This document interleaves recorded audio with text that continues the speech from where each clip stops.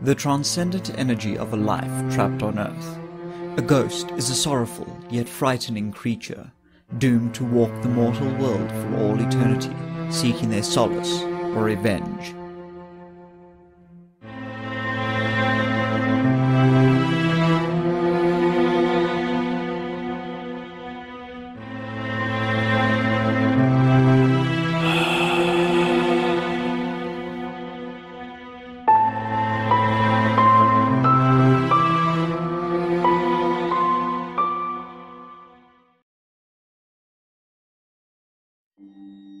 Throughout history, we have been obsessed with our own mortality, wondering what awaits us after we shrug off our earthly bonds. For some, oblivion. For others, paradise. But for a few, their spirits remain here on earth, becoming a ghost. The supernatural creature is usually depicted as a translucent entity resembling the form of the body it once inhabited. However, there do exist variations of this creature that are completely decoherent of their original form, usually taking the shape of a glowing sphere or nebulous mist. There are some examples of the ghost that sees it as a robed figure wandering cemeteries, wholly unlike the more common depictions. The ghost itself is usually a benign creature, acting out various aspects of the life it once had, while flitting in and out of existence, but there are some ghosts that retain a semblance of thought and agency, and are able to affect the world around them to some degree, sometimes to assist the living, and other times to harm them. The reason for these differences of intent among ghosts is usually attributed to the cause for their death. Those ghosts who are helpful are usually assumed to have been created to complete some task which on their death remains unfulfilled while those who are malicious in their conduct are assumed to have been rendered as some form of punishment, or are malicious as to defend some area or precious object. It is from this difference in creation and purpose that we distinguish various ghosts from one another. Initially, the term ghost is given to those spirits who are no more than an etheric impression on reality. The poltergeist is another form of ghost that usually inhabits its former residence, pranking and even attacking the new inhabitants. The Wraith is by far the most diverse term, describing many subclasses of ghosts that have both agency and influence in the physical world. Usually violent, these creatures are more commonly depicted in cemeteries and battlefields. At last, the term spirit is more commonly reserved for those ghosts that are benevolent or generally helpful. Though spirit is also used as a generic term to describe ghosts who have yet to be identified as belonging to the previous subcategories. In addition to these broader categories, there exists a litany of subclasses and variations among ghosts. Indeed, ghosts are the most diverse and various of all mythical creatures.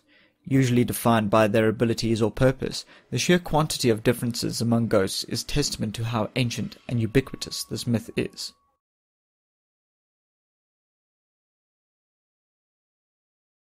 The ghost permeates many aspects of popular culture and culture throughout history.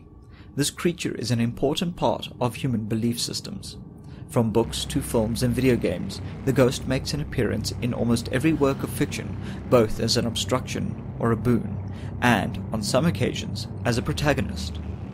The most popular depiction is found in horror media, where the ghost is an unstoppable creature with unknowable, malicious intent. The ghost lends itself well to this type of depiction, as its incorporeal nature makes it difficult to deal with using brute force alone, requiring luck and belief to defeat. Second to horror stories, we find ghosts taking on the role of helpful or powerful beings that aid protagonists in some manner, usually by giving them information. But every so often we do see help coming in the form of harm to antagonists within stories, most famously in The Lord of the Rings, where the dead men of Dunharrow fight to save the city of Minas Tirith. Sometimes the nature of the ghost makes it as alluring as the modern vampire, and romance stories are concocted around the plot of having an ultimately unattainable, supernatural lover. Many aspects of our myths and personal philosophies also include the concept of a ghost, although it is not in the form of some earthbound entity. Rather, it is the concept of a spirit or soul, some animating force that is the essence of one's being, in media, this is usually the incorporeal yet still living form someone may take to accomplish a goal, while in culture we assume it to be the root of our minds, or sometimes literally the soul. And finally, we cannot forget one of the most famous celebrations, Halloween.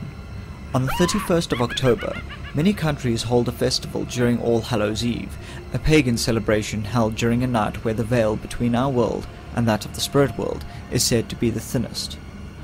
People will dress up as various representations of these spirits to ease their passing into the afterlife. And even though Christian and modern influences have changed a lot of the engagement of this holiday, it is nevertheless remembered as a day where all manner of ghostly activity is afoot.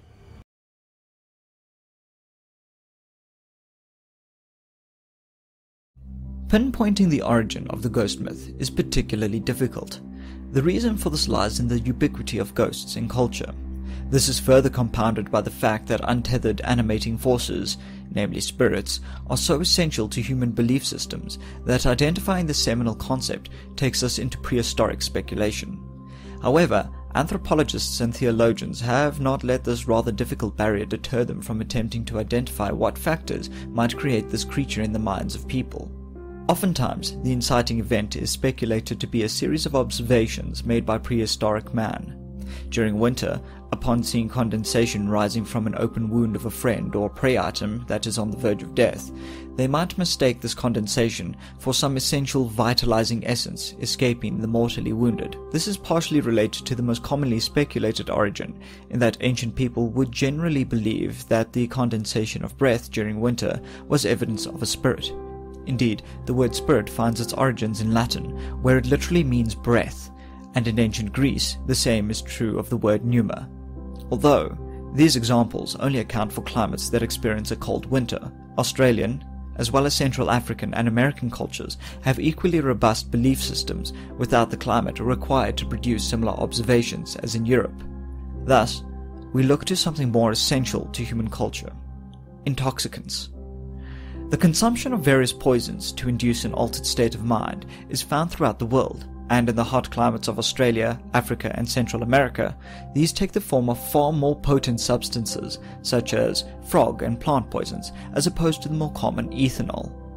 Often, these substances will induce visual and auditory hallucinations that these cultures simply refer to as ghosts or spirits when we consider the various migration theories of humanity placing our origin in sub Saharan Africa, it is not too much of a stretch to imagine that we owe our global conception of spirits and ghosts to our ancient ancestors who needed to describe their experiences with hallucinogenic substances.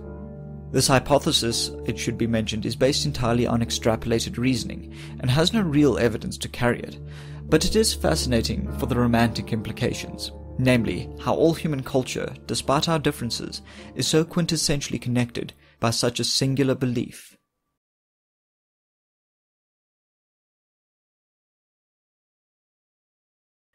Resolving the differences between reality and the ghost myth is particularly challenging.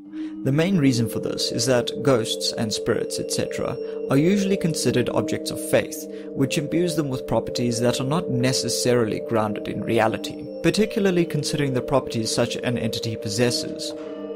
However, there is still room to speculate as to the nature of ghosts as they relate to the real world, and perhaps reconcile their nature with that which is possible.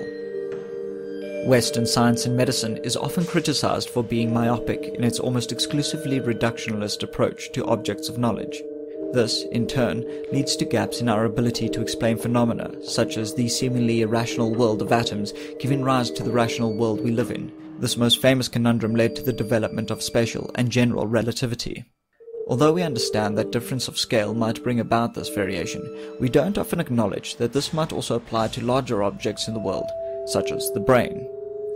The brain is often considered the seat of consciousness, the home of what essentially makes us who we are.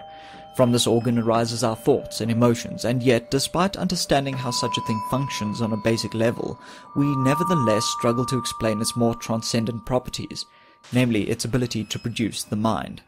Though how might the brain create something so utterly alien to our present understanding of physics? Often, the brain's ability to render the mind is ascribed to its similarity to computational devices, since the brain is a network of structures that very closely resembles hyper-threaded NAND gates and transistors. Indeed, much of the terminology invented for discussing the function of computers is eminently transferable to the brain. However, The problem with this analogy is that modern computers show no signs of the autonomous activity that is usually associated with the mind. Simply supplying energy to a microprocessor does not make it perform computational operations, whereas a brain does so regardless. And as a result, computers are presently incapable of producing a mind and spirit. So we must look elsewhere and invoke hypothetical concepts to explain how the mind, and consequently ghosts, might potentially be created. Metamaterials are a relatively recent development and possess properties that, when translated to the brain, may explain the creation and formation of ghosts and spirits. Simply put, metamaterials consist of nanostructures placed in composite arrays. The resulting structure is capable of influencing various forms of wave, such as light and sound, despite the fact that the structures themselves are smaller than the waves they are influencing, and thus should not be able to interact with the waves at all. Considering the complicated structure of the brain, it might not be unreasonable to suggest that its structure is interacting with some all-encompassing ether, and thus produce what we experience as the mind. Ghosts would then be born from a semi-permanent impression left on this ether, or perhaps the brain is simply capable of generating this ether, leaving residue in the form of a ghost. The implications of these concepts would mean that even the still living are capable of producing ghosts, should they for some reason leave an impression on the ether or leave some particularly strong residue. Of course, with any kind of inquiry into the physical world, we want to avoid creating new and radical forms of matter, such as the aforementioned mind ether, and it goes without saying that imaginative speculation could hardly get more fanciful than this. Ultimately, the complexity of this subject and the various factors believed to be involved means that this endeavor is far beyond the might of a simple video. And as such, we would very much like to hear your own ideas, dear viewer, of how ghosts may function and come to be. Though we may never understand the nature of the human soul, we can be certain that it is nevertheless an important and vital aspect of our beliefs and our cultures.